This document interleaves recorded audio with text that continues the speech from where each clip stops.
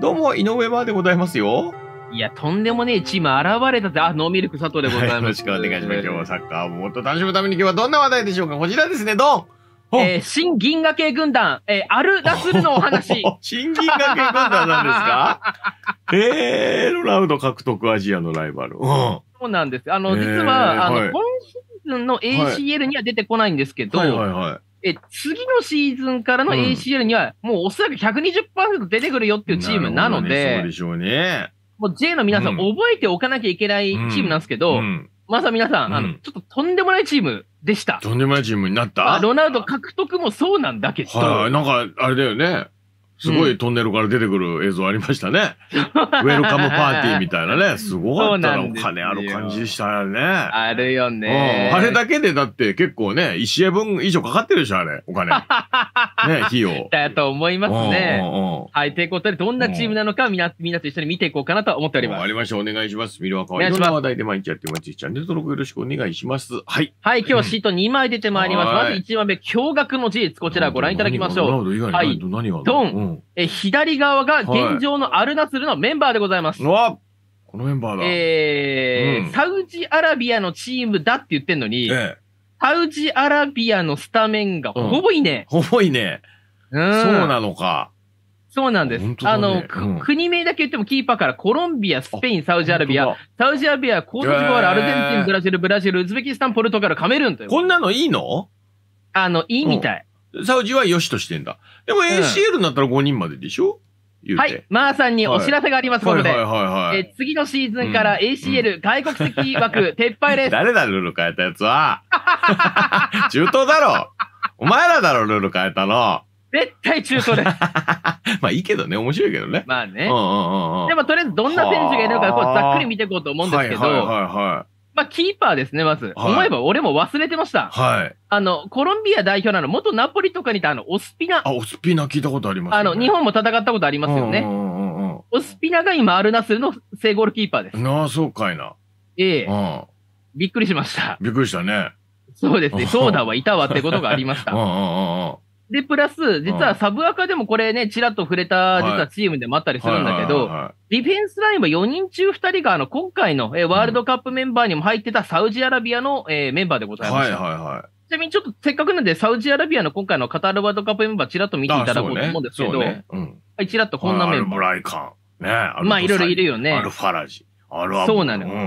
あの、一番は、あの、アルヒラルというチームがサウジアラビアの、えー、軸になってるんですが、はいはいはいはい、アルヒラルに次ぐ、えー、うん、2番手集団がアルナスルでした。我々が今言ってるのはアルナスルですね。アルナスル。アルナスル。はい。で、右側それで見ていただきたいんですけど、アルヒラルのメンバーっていうのは、うんうん、要はこれ、あの、これ黄色で名前書いてある皆さんっていうのは、うんうん、え東京オリンピック世代、いわゆる若い連中なんですね。若いんだね。うんアルヒラルの皆さんっていうのは、いわゆる白地が多いんですけど、アルナスルは黄色地が多いんですよ。代表に若手送り込んでたんですね、めちゃめちゃ。そうなのアルナスルは。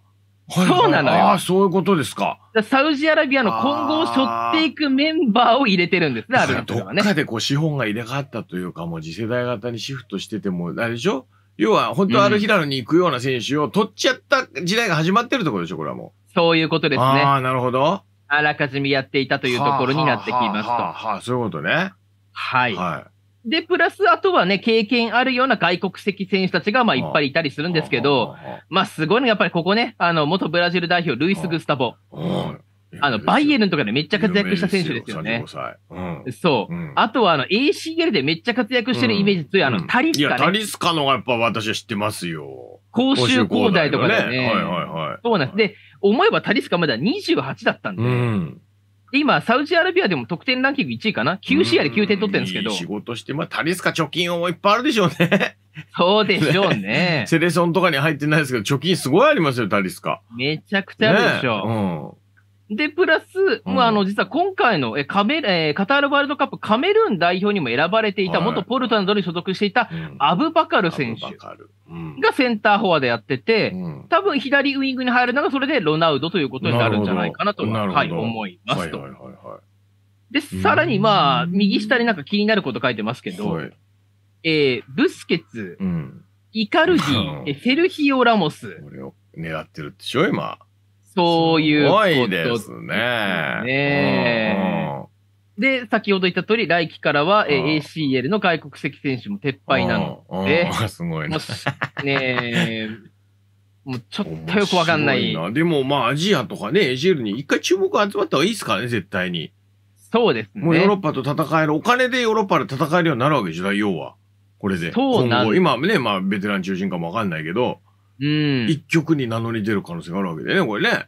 ありますね。うんうんうんうん。うん。だしかもこれか上がるよ、そしたらね。そうですね。うんうんうんでしかも、あの、クラブワールドカップもこれから変革があって、はいであのー今年、来月か、2月に行われるのが、うんまた今までと同じように7チームで行われるんだけど、うんその次の大会からはうんうん24チームなんですって。うん。うんまあ、どういう形で24チーム出てくることになるか、ちょっとまだ、うんすみません、僕もわかんないんですけど、うんでもなんかいろんなことやって、なんかアルナスル出れそうじゃないですか？20分ハーフですか ?1 日2試合ですか？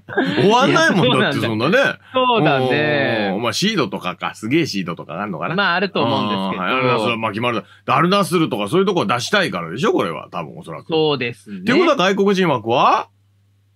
そこも、なくなるんじゃない？うんそういうことなくなるか増えるかは出てするよね。そういうことですね。はいはいはいはい。なので、だからやっぱうんクラブワールドカップでこのアルナスルが、うん例えばヨーロッパのチームとか、やっぱ南米のチームとか倒すってなると、うん世界の縮図が変わる。いや、そうだよ。そうなの。うんうんクラブワールドカップでは今までヨーロッパと南米のチームしか優勝したことがないので、うんうんうんうんそこが変わるってなったら、おそらくだから本当に次の派遣はアジアに来るんだろうなとうん思われ ます。まあ、これをアジアと呼ぶべきかはちょっとね、まあまあの余地がありますけども。まあね。うんうんうんうん。まあ、とりあえず大きくいや、でもいいと思います ACL ね、FC というくくりの中からチャンピオン出すことは大事ですよ、これは。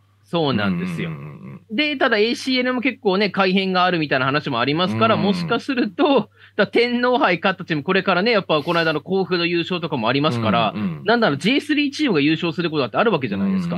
だ例えば、どこでしょうね。だから今回上がってくる奈良クラブとか、ん FC 大阪 VS、うんクリスチャン・ロナウド？うんうん。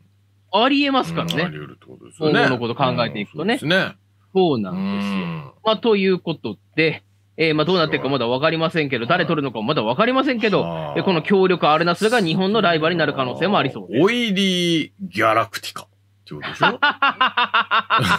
そうだね。砂漠のギャラクティカってことでしょ？そういうことですねす。ごいです。面白いじゃないですか。いやー盛り上げてくれますね。いはーい。ろんな新しい話題が事欠かなくて面白いでございますな。そうですね。ということでございます。今日の話題でございます。ワクワクさせてもらえてありがとうございました。ということでありがとうございましたいやいや、こぼれ話はね、サブアカでお昼に喋りましょう。またね。ありがとうございます。お願いします井上真でございました。ナオミルサタでしチャンネル登録。ボタンぜひよろしくお願いします。サブチャンネル、そして、えーメンバーシップ、えーそして、えーグッズショップもやっております。いつもグダグダでごめんなさい。じゃあね、ありがとうございました。まねた